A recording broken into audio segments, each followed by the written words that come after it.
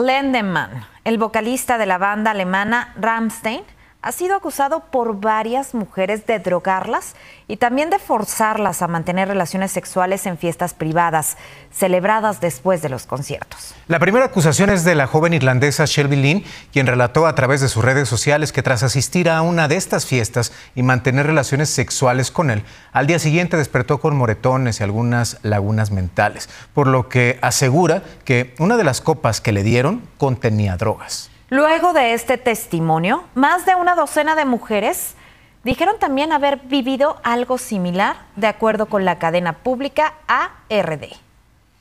Ante esto, Ramstein reaccionó el pasado domingo 28 de mayo, descartando que los hechos narrados se hubieran producido en su entorno, además de que dijeron no tener conocimiento de que se estén produciendo investigaciones oficiales al respecto.